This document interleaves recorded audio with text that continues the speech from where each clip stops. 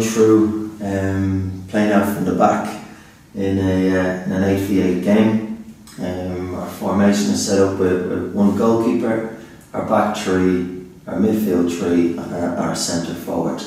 And the first thing to, to point out is our, our starting positions. So we want our, our fullbacks nice and wide, backs to the sideline, um, so that they can receive the ball on their, on their back foot and go and, go and play forward. Um, our, our right side and left side midfielder, midfielders need to be high and, and wide as well. Again, same with their backs to the, to the sideline um, to, to stretch the opposition. Um, so the first, first things first, we're looking to get our um, fullbacks on the ball. Um, more than likely he's going to be closed down.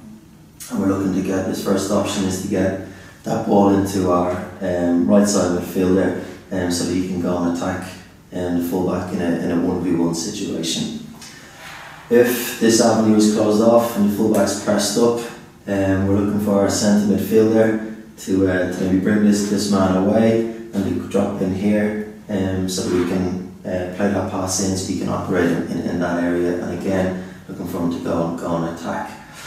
Um, if we're if we're close, if this is if the centre midfielder is pressed up on, on our centre midfielder and that avenue is closed off, we're looking for our centre forward to come over into this area and um, to create that diamond shape um, again for, for, for that ball straight into the centre forward.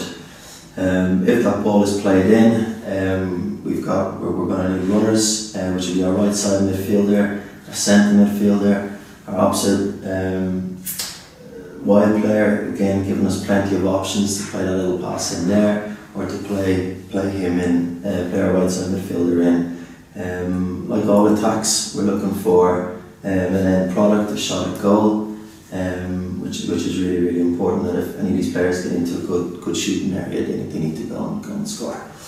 Um, lastly, if, we're, if, if all options um, forward are, are closed off, um, we need our goalkeeper to come across and to give us that option um, so that we can play back through him um, to, to play onto the opposite side of the pitch um, to maybe go and, go and attack down that side again, stretching the opposition. Um, like all attacks, if we're if we've um, if, if, if we've pushed on um, and we get into get into these areas here, and we've got our, our fullbacks pushing on, um, it's really really important that if we lose possession, then we're well organised and, um, and and covered at the back in order to do that. So we've come down with the right side of the pitch. We're looking for our centre back to slide across and for our opposite fullback um, to come and, uh, and slide across. As I said, if we uh, if we lose possession, then we're, we're well organised at the back. So that's uh, playing off from the back in an 8v8 um, game.